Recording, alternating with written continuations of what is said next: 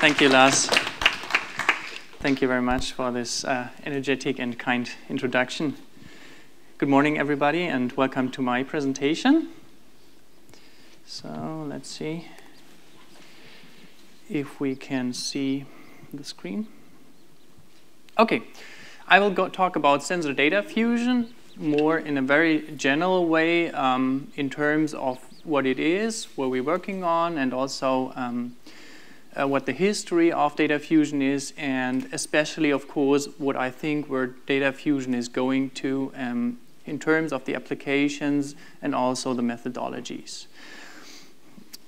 So data fusion has come um, originally, so uh, as, as we see it from the JDL group, the Joint Laboratories of Data Fusion, um, from 1987, so almost 30 years ago. And um, they, this group of uh, pioneers has come up with a first really schematic way and organized way to, uh, to, to define the hierarchies of data fusion, to extract higher level information and higher meanings of data in terms of an hierarchy. So even though this model is so old, people are still using it and it's still very important. So the, the levels defined back these days um, are still applied. And I think it's, it's important to know the roots of, of data fusion, uh, why it has become uh, come up in this structure, and uh, to overcome the structure and also to benefit from the structure both. So to know the structure is very important to um, apply the existing methodologies because they refer to a certain assumptions. And to provide new methodologies, it's important to overcome the structure in order to do some cross-layer processing. And that's also um, yeah, some cross-reference to where data fusion is going nowadays. Uh, let's just have a, a, short look at the model. It's, um, I, I, won't go too much into the details of this, but this, uh, that you have seen the model. Something is happening here on the right side in the, in the real world. So this is the real world happening here, some events happening. Um, we are measuring these events in terms of sensors. Uh, so we have some, some uh, signals measured here in terms of uh, some of these sensors or other sensors might be imagined. And then um, the information level is going up in this direction. And here we have the user, the operator um, who has to yeah, work with the information and has to make decisions. And we want to support the operator to make optimal decisions. So at level zero, we really do uh, signal processing and uh, refinement of the actual data. And then at level one, we extract uh, some, some terms of um, hidden variables, so already some, some states which we can't measure directly. In situation um, refinement, we look for the whole picture, so we have multiple objects, do they interact, um, and and so on. And, and level three also uh, implies the assessment of impacts and also um, yeah, history of, of the situation, so scans in multiple times and, and history and prediction in, in the future. Um, and of course, we also have a context into information which can be fused. So that was 1987 and still applied today. But of course, if we want to improve some, some uh, certain methodologies, nowadays people are working on cross-layer fusion. Let's say we, we work on the raw data from the signal and uh, already process them into hidden variable states. That's already cross-layer um, processing as an example. So here's a short overview of um, what I see data fusion today. We have lots of uh, multiple algorithms and approaches in the methodology. Here's just to name a few. I, I can't go into the details of, of all of them, but it's, it's just, uh, yeah, not, yeah, it's just a, a list of um, well-known methods how you can process data and track objects and fuse data over time. So either fuse data over multiple instances of time or from multiple sensors or both, of course. And depending on the scenario, uh, you would have to choose the optimal algorithm, which obviously is not easy as long as you, are not really aware of what is else, what else can be found in the literature. So one trend in methodology in data fusion is sort of to unify those methodologies. What is, what is the higher level um, approach? What is the, the, the structure behind those methods so that you can model your problem in a higher level and then derive the, the filtering, the um, data fusion algorithm from uh, this higher level prescription. So in the security and defense applications, you will find most of the um, fusion um, applications. That's maybe also due to the history. Data fusion has especially uh, built, we built, was especially built for radar processing and tracking of objects in, in air surveillance. Um, but of course, the applications have become much broader, but still uh, are very focused on security and surveillance applications. Um, of course, nowadays, um, automotive and robotics also play an important role, um, although uh, they have uh, more specific assumptions in some way. Uh, uh um, um, yeah, um, these are very emerging technologies, and, and they are they are progressing, and uh, it's it's becoming more and more from from this side. So um, I would like to show you some applications we have been working on and we are currently working on these days. Um, so uh, that you see the, the means of what data fusion can do. Um, here is an, I think, very nice example. That's passive coherent location, also known as passive radar. So the situation is we have certain um, GSM base stations or other uh, cell phone base stations everywhere around the world and we want to use the signal broadcasted from these stations to track objects passively. So we have here, we have a, a small vessel, um, might be very fast and, and also passive, so it's not emitting any signal. And we want to track this, uh, this vessel to know where its position is, where, what its velocity, where it's heading to.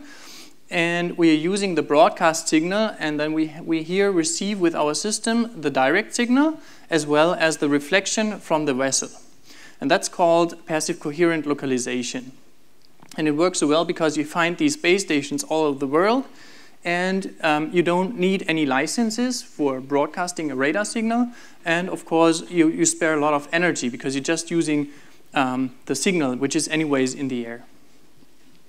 And we have do, done some experiment for harbor protection, and I will um, show you a, a short video. of the result. The problem here is that the problem is highly nonlinear, so you're measuring a, a bistatic um, range and a Doppler measurement, of course. Um, this should look.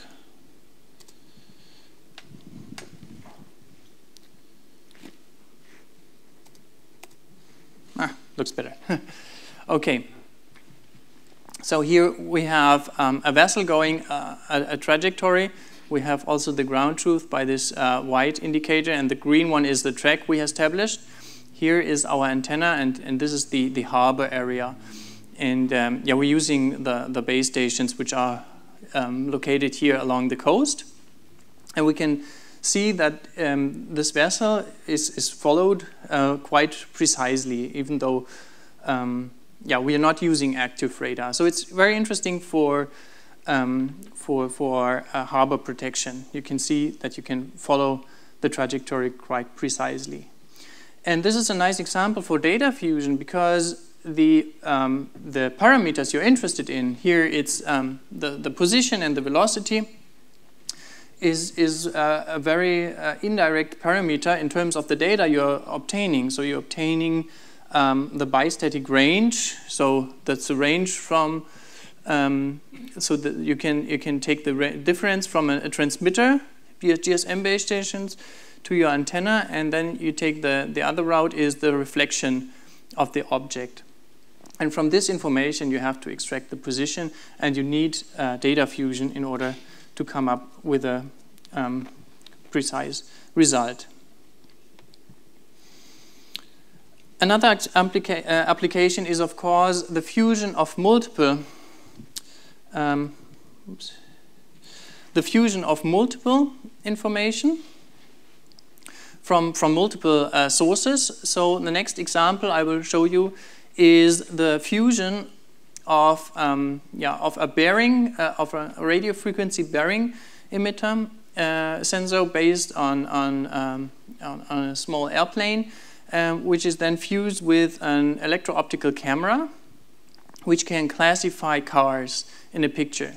So we have two sources. Um, we have an array, which gives you a bearing of an emitter signal um, you can see at the ground, and then this uh, information is fused with the classifier of an electro-optical camera, which looks for cars. It might have some false detections, as you can see here, but it might also have some true detections. And uh, the, the bearing itself is quite inaccurate, just uh, yeah, because you have a, a, very small array on, on such an airplane. Um, but fusing this bearing with a classifier, which gives you um, the position or the angle in terms of pixels, uh, the angle of, of a car you're looking for will make the position very precise. And that's also a good example because you improve um, your estimate of the parameters um, in, in terms of fusion of multiple sensors.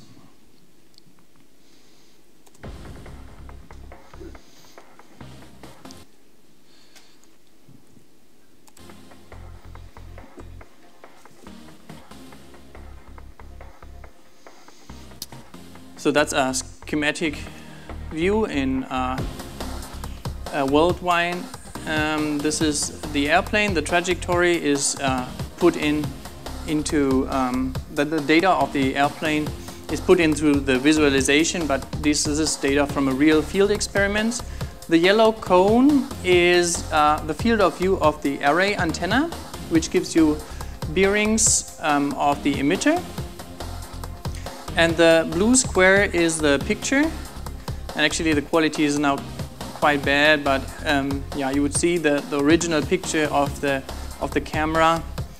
And uh, yeah, you can see that it fits uh, well to, um, to the yeah, mapped map information in here.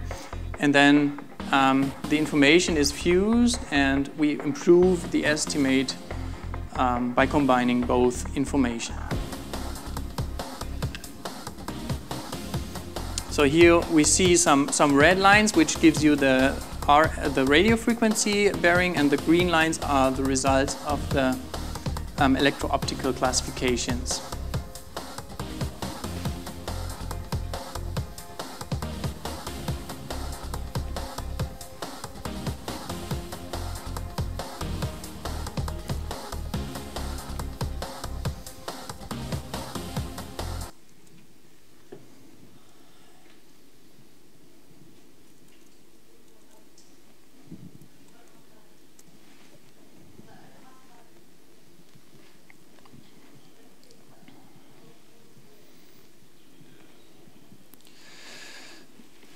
Okay, third and last example is um, an interesting security ap application. And um, this is interesting because we do uh, tracking and classification simultaneously. So in this example, it, the goal is to uh, detect hazardous material in terms of, so let's say explosives a person is carrying. And uh, those persons are walking through uh, the system here, through that uh, tunnel. And in this tunnel, we have mounted some sensors. We have um, those uh, square, those L square sensors are laser scanners, which give you a range and a bearing uh, in a very precise manner. So we have a, a point cloud from the persons, um, so we can, can detect where the persons are walking. We've, we've used those uh, point clouds in order to, to establish, um, to estimate um, where are the persons and which trajectories are those persons going. And then we have some chemical sensors. These are the C points in here. And the chemical sensors are smelling for explosives. So if a person is carrying an explosive, chemical um, sensors will give you an alarm rate but the chemical sensors have a very bad spatial temporal resolution. So we will have um, the, the alarm quite uh, with a delay after the person has passed this spot. And by means of data fusion, you can still um, see which person is carrying the explosive. So I'm sorry, the switching takes always a little bit of time, so a bit tedious, but we will have it done.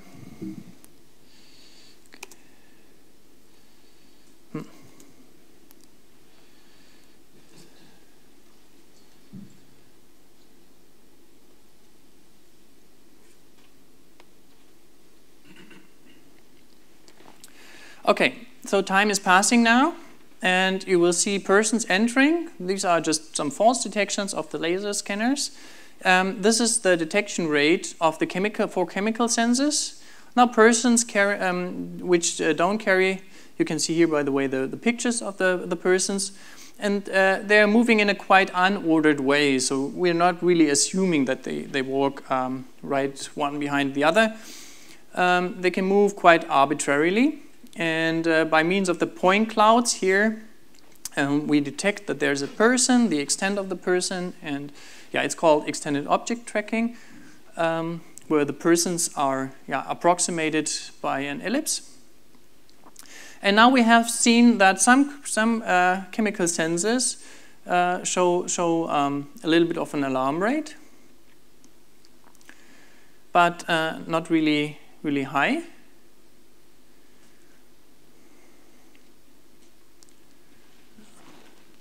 So we had, yeah, I, I have missed it. Let's go back a little. Okay, so here now this person, which goes quite fast, has indicated, has made uh, those chemical sensors to indicate that there, there is something. And even though we have now quite a number of persons involved, we were able um, to, to detect that this is the person who carries the explosives. It's now indicated by the red, uh, by the red corona here. And we have presented this also in a, in a real demonstration um, with uh, thousands of people involved, and it works quite reliable. And uh, this is now um, nowadays also extended to, um, to uh, dirty bombs, where we work with gamma ray detection sensors. So I think this is a quite uh, interesting example that you can also uh, fuse for classification um, issues. So, so you do tracking, data tracking uh, of objects, um, and while you do this, you classify them into certain classes, and uh, you can do this to detect uh, the threat in this case. Okay. So these are current applications we have been working on, but um, I want to talk a little bit about the future.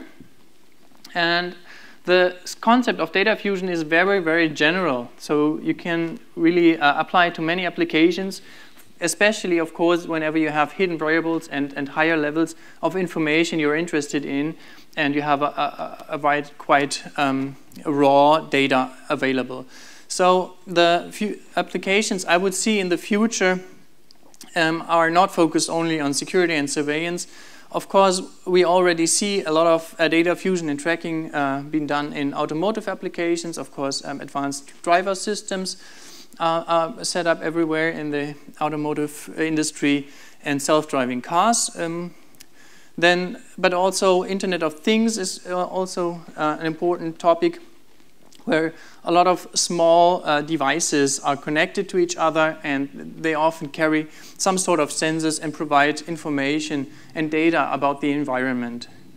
So um, here I think there's a lot of potential for data fusion um, methodologies for the future. Energy is um, yeah, something I, I, wrote here also because we have some first uh, discussions with energy partners, so especially um, yeah, the, the example I can provide is we have um, a partner which does solar energy, and they want to track the beams of a solar panel, um, which can be really improved by data fusion. Um, big data is very a, a, a, very a big community too, of course, uh, but still, um, uh, I think the, the Bayesian approach really could also help uh, to estimate variables um, which you are interested in here in big data, and uh, yeah, the, the two communities can, um, can profit from each other. Healthcare is a, a, a big market, and so there might be some very interesting applications here because also the patient of the future has a lot of sensors involved, so a lot of sensors are measuring um, the, the uh, properties of the human body now already in the hospitals, but nowadays you can also find a lot of uh, uh apps in the app stores for your cell phone to, to measure your blood pressure, your, uh, heart rate, and so on. So also here, these methodologies can provide um, uh, yeah, improvements. Yeah, and of course, yeah, these are, are also um, applications where you work with a lot of data. Won't go too into much too much into detail, but of course, these are, are very uh, emerging fields which which have um, lots of applications in the future. So the last part of the talk, I would like to spend uh, to show you some some novel uh, yeah approaches in Bayesian filtering.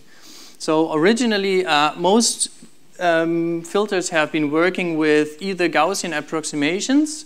So we, we assume the world is Gaussian. We can uh, work with first and second moments of, of a probability density function, which uh, especially approximates the situation in terms of a mean, uh, the most likely state, and a covariance, which gives you the, an indicator of how exact is your mean. And then a recursive data processing has been set up to propagate the means and, and, and the covariances and uh, uh, to, to uh, fuse information and yeah, compute the, the new parameters of such a filter. The second approach you can see in, in the literature is the particle-based uh, approach where you, you put up samples which, is distribu which are distributed according to um, the, the, the, distribution of, of the real world. So um, these particles uh, provide uh, some samples and in terms of the samples you can predict um, the, the, uh, the samples and update the samples with the Bayesian approach. But um, both, both of those methodologies have uh, limitations based on their assumption. So here it's a Gaussian assumption. When your problem is not Gaussian, then um, yeah, you will have a problem. You will need an approximation and also you need a, a, a so-called linearization. So if the state transition between the actual measurement you're taking and the state you're interested in is a nonlinear connection, then you would have to linearize this function um, in order to make those, uh, those uh, methods work in, in, for many applications, this works fine. So linear, linearization is good approximation in many applications. But of course, in high nonlinear applications, this is a severe problem, and you will find you have to use different methods. The problem on the particle filters is um, particularly curse of dimensionality. So if you have a high dimensional state, let's say um, 10 dimensional state, so you have 10 parameters which are connected to each other and which you are interested in. You want to estimate them with samples. Then you have a 10-dimensional state.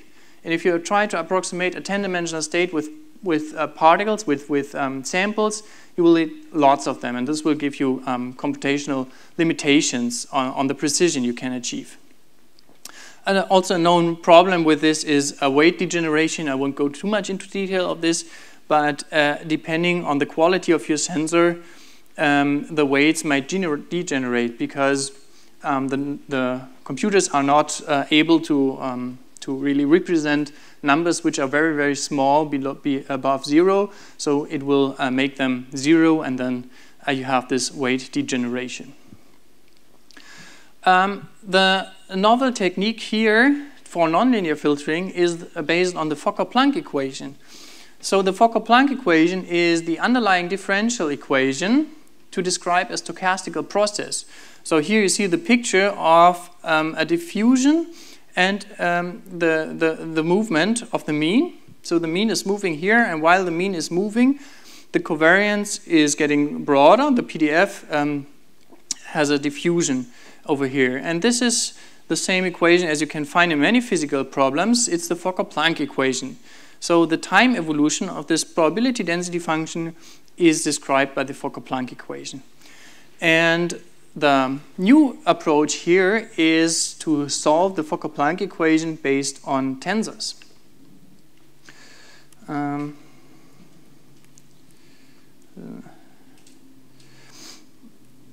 because I mentioned tensors, I will come back, back back, I will come back to the slide uh, previously. I will just uh, uh, would like to, to show you the, the approach of the tensors. The tensor representation can be um, decomposed in sum of Kronecker products. Here's how it works simply in, in a, a two-dimensional problem. If you have a data matrix Y, which represents the, the information you have, you can present this as an outer product of vectors. For matrices, this is known as a so-called singular value decomposition. But of course, often our world is not two-dimensional, so we have to find something more general. And the more general approach is a rank 1 decomposition or PARAFAC decomposition. There are many, many names in the literature. This is kind of a generaliz generalization of this approach to, to arbitrary dimensions. So here, this picture gives you an idea how it works in three dimensions. In terms of formulas, it looks like this. You have a sum over multiple components, and then you have the outer product of some loading vectors, indicated here in different colors. And this is a very efficient way to represent your data, and I strongly recommend you to consider this if this is applicable to maybe your problem, because um, we have found that this uh, can provide very efficient solutions. Um, if you have represented your data in, in terms of a tensor decomposition, then you do the standard um, Bayesian prediction and filtering. So in the prediction, you let time pass. In other words, you solve the Fokker-Planck equation for the tensor decomposed uh, PDF. And after you have done this, it's, it's well possible.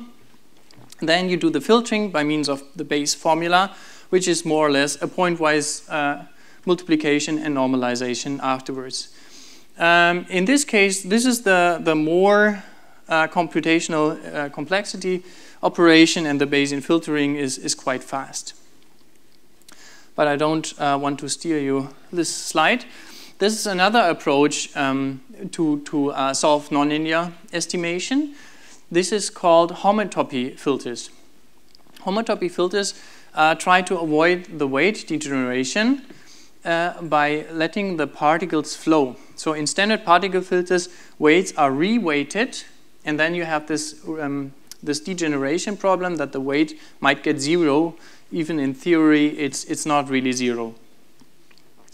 Um, the key idea here is to flow the particles and model it as a physical flow. So also again, you have the Fokker-Planck equation um, involved here, but now uh, an imaginary time has been involved, uh, is involved um, to move the particles to the posterior. Okay. Now this is um, an example of a bistatic 4D radar tracking. Um, so the state space is four-dimensional. Here we have just uh, plotted the two-dimensional state. And in the beginning, you can see this very non-Gaussian noise here. So this is this uh, banana-shaped form is, is very non-Gaussian. The measurement function is nonlinear, and then you can see that the estimate becomes quite accurate quite soon after a few measurements. So here the sensor is at the, the left corner. It's, um, it's two receivers and one transmitter of a radar system. And this will give, bring, bring me almost to the end. Um, the, um, the conclusion is yeah, we uh, still use the original model from eight, 1987. Um, so uh, we have data fusion in various applications now and uh, probably in the future. And uh, I've shown you some some trends. Of course, it's it's um, um a subjective. It's, it's it's a very personal uh, um, view on on what I, I think is is important and what are the current trends, which would will give uh, a lot of attention in the future. But uh, these methodologies I've shown you um, are, are, playing a key role nowadays in the, in the um, research community. Um, I have not spoken so much about generalizing approaches um, because yeah, that would be too much for today. But people are also working on generalizing these uh, different methodologies to, to get a more general uh, description of data fusion and uh, yeah, as I said, a promising example of a particular method is the Fokker-Planck based estimation. Here is just a little hint that my, my boss, Wolfgang Koch, wrote a book which is very uh, valuable for data fusion and tracking if you're interested in that. And last but not least, uh, our annual workshop next year again. Please feel free and uh, yeah, I would invite you to submit a paper to our conference in Bonn. Thank you very much. Thank you very much, Felix Govaers.